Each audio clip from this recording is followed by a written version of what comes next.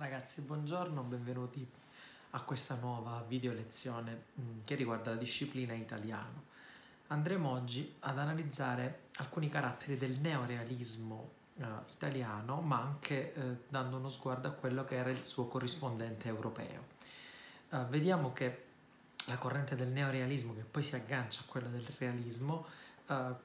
continuerà più o meno nell'arco di un um, ventennio, venticinquennio, dal 1930 fino a tutto il 1950. Di che cosa stiamo parlando? Stiamo parlando di una corrente che ha uh, all'interno delle caratteristiche particolari, sarebbe a dire il racconto della realtà, appunto come faceva il realismo, ma anche la denuncia sociale, il racconto dei temi di guerra e anche di quelle problematiche che si instaurarono in Italia e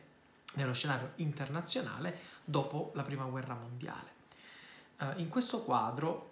senza dubbio, ha una, um, un posto importantissimo un autore americano che è Ernest Hemingway. Ernest Hemingway che è nato nel 1899 ed è morto nel 1961 ed è stato insignito uh, premio, con il premio Nobel per la letteratura. Perché è importante Hemingway? Hemingway è rappresentante di un neorealismo particolare che ha in sé molti elementi, se vogliamo, romantici perché le sue opere sono pervase non soltanto da una descrizione molto bella e molto lucida della realtà, ma anche da un trasporto sentimentale che non è comune in quel periodo storico. Eh, abbiamo detto Hemingway è un americano, ma è stato molto molto vicino all'Europa, in quanto ci viaggiò tantissimo, eh, partì eh, prim- nella prima guerra mondiale come ehm, medico, del, come, scusate, come personale di supporto nella Croce Rossa, ma fu anche inviato eh, durante gli anni della guerra civile spagnola, quindi nel periodo in cui le truppe repubblicane e quelle di Francisco Franco si combattevano, ehm, e in quel contesto lui scrisse tantissimo. Partecipò, ripeto, a, a, alla prima guerra mondiale in Italia. Ehm, lui eh,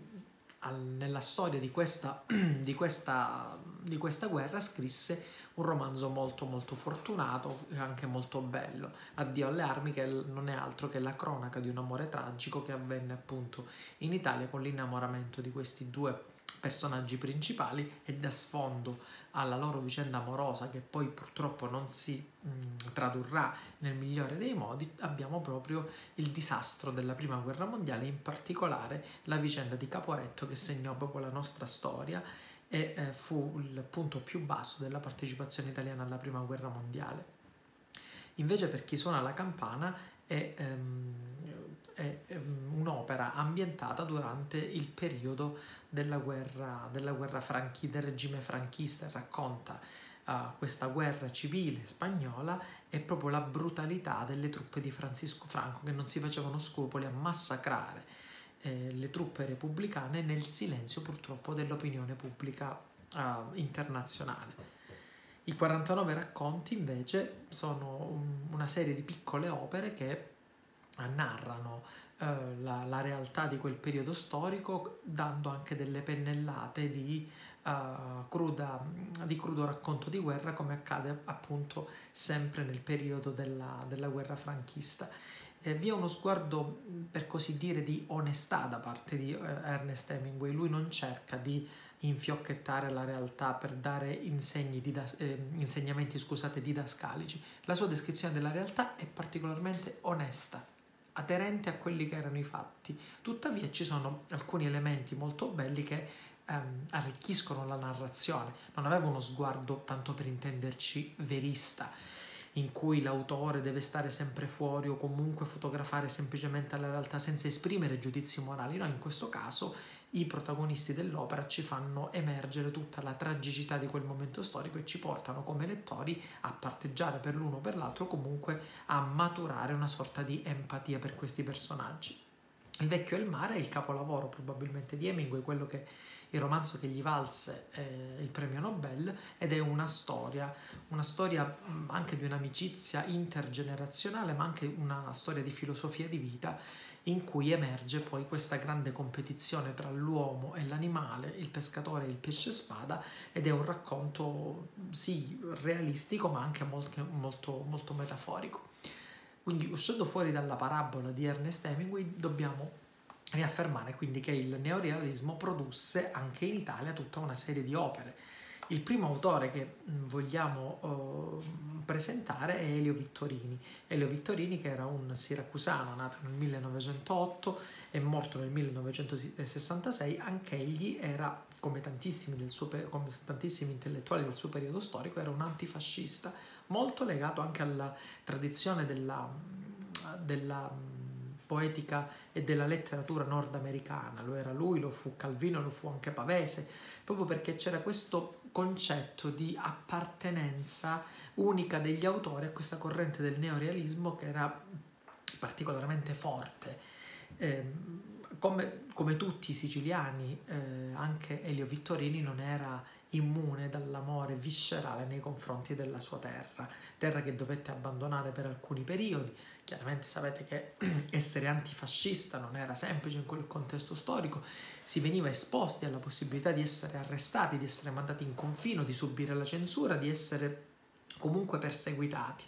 Le sue opere principali sono Il Garofano Rosso, che è un'opera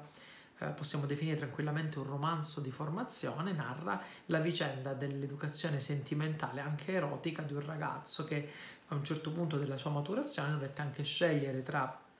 uh, un amore uh, per così dire platonico come quello di Dante e un amore del tutto carnale e all'interno di questa storia d'amore poi si innesca la crescita del, del personaggio. Conversazione in Sicilia invece è un altro romanzo che eh, permetterà a Vittorini di fare tutta una serie di valutazioni sul sistema sociale e anche sulle descrizioni eh, storico e paesaggistiche dei, dei luoghi che lui ha visitato è una narrazione di un lunghissimo viaggio in cui il protagonista conoscerà persone, racconterà paesaggi, racconterà la sua terra ed è il tema fondamentalmente del, della varietà dell'umanità e del rientro, del ritorno a casa fino anche al racconto delle atrocità della guerra. Infine, Uh, altro romanzo che vale la pena ricordare di Elio Vittorini è Uomini e No. Uomini e No è un romanzo molto agile, molto ben scritto e eh, particolarmente accattivante, ambientato nel periodo de- della Resistenza, che narra proprio le storie di, di, questi, di questi partigiani che si scontravano con le truppe nazifasciste e in un periodo di grandissima tensione, di grandissima eh, guerriglia in quelle che erano le zone in cui la resistenza eh, sopravviveva. E, ehm, e Qui c'è anche una forma di, sottile di valutazione sull'umanità stessa e il titolo che, gliela, che ce la suggerisce, perché uomini e no, non è altro che la divisione netta tra coloro che erano uomini e coloro che non lo erano, no? la, div- la divisione tra chi era antifascista legato al concetto di libertà e democrazia e chi invece non lo era. Andiamo a chiudere questa prima panoramica con un autore eh, estremamente importante che è Cesare Pavese. Cesare Pavese che nacque nelle Langhe Cunesi nel 1908 e morì suicida nel 1950. Si può dire tranquillamente che quello di Cesare, di Cesare Pavese è stato un grandissimo spreco di talento, posto fine alla sua vita in un momento in cui avrebbe potuto dare tantissimo ancora alla letteratura italiana ed europea, in quanto era una penna raffinatissima, scrisse poesie, scrisse prosa e saggistica, sapeva tradurre bene, anche egli era legato alla tradizione nordamericana della letteratura e aveva anche una eh, forte impronta filosofica che ricorda in alcuni aspetti Leopardi ma anche e soprattutto eh, Montale. Eh, bisogna dire che la scrittura, come invece avvenne per Italo Svevo, non riuscì a, in Cesare Pavesi ad attenuare il suo disagio esistenziale. La sua comunque inquietudine lo accompagnò per tutto il resto della sua vita, ehm, mescolandosi ad una forma depressiva che lui ebbe sempre e anche ad un insieme di vicissitudini che gli capitarono, come per esempio alcune delusioni amorose che ebbero l'effetto di detonatore, quindi di fargli uh, perdere comunque molte certezze e portarlo a quello che fu l'estremo gesto del, del suicidio. Uh, sua, una delle sue opere saggistiche più importanti è Il mestiere di vivere. Il mestiere di vivere è una sorta di zibaldone nel quale lui scrive la sua concezione della vita. Eh, vedete, già stessa, mh, lo stesso mestiere, di, la stessa vita vissuta come un mestiere indica una fatica, una fatica che possiamo tranquillamente ehm, ri, eh, ricollegare a quello che era il male di vivere di, di Eugenio Montale. Eh, quindi una concezione della vita sofferta che vediamo anche nei romanzi, ad esempio come Il compagno e la casa in collina, in cui vi è forte il tema della resistenza e della violenza, temi che, che fanno parte del suo, del suo, essere, anche perché Pavese si sentì inadeguato per quel periodo storico, perché anche se fortemente antifascista, comunista militante, egli non fu particolarmente attivo nella lotta eh, partigiana. E questo gli provocò quasi una, una sorta di, senso, di, forte senso di colpa, perché si sentì in colpa nel non aver propugnato quella che era la lotta contro il regime liber, liberticida nazifascista e questo si, lo ritroveremo anche nei, nei suoi romanzi. Negli altri, negli altri, due romanzi, come Paesi tuoi e La luna e i falò, invece eh, entra a pieno titolo la questione del legame alla sua terra, legame alla sua terra e anche del ritorno a casa, cioè il ritrovare quei paesi che tu avevi lasciato, i luoghi del cuore, ormai completamente diversi da come eh, tu li avevi lasciati, perché comunque la vita è in evoluzione, sebbene molti luoghi non cambino totalmente perché comunque sono luoghi chiusi, eh, tu quando ci ritorni ti senti comunque strano e questa è la tematica di fondo di, dei, di Paesi tuoi, eh, la Luna e i falò e quest'ultimo ha anche una cornice importante della resistenza e delle violenze avvenute in paese, in quel paese durante il periodo appunto di contrapposizione tra i partigiani e le truppe nazifasciste. La poesia, la poesia di, di, di Pavese è incentrata, come avevo detto prima, su grande, questa grande difficoltà di vivere, di sopravvivere e c'è tutto dentro una grande raccolta che era Verrà la morte avrai i tuoi occhi, in cui si affronta anche la tematica amorosa. C'è proprio una poesia uh, che dà titolo all'opera Verrà la morte avrai i tuoi occhi, che è una poesia bellissima, molto struggente e potente nella sua descrizione, uh, soprattutto nel verso finale quando Pavese dice... Eh,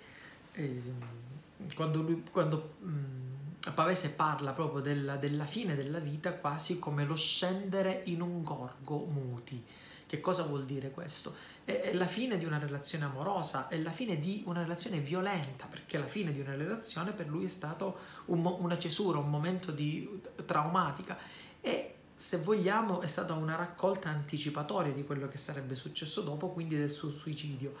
Um, molto importante è stato anche eh, il momento in cui lui ha, maturato questa decisione, prima del suicidio ha lasciato un biglietto, un biglietto ironico e allo stesso tempo consapevole. Lui ha scritto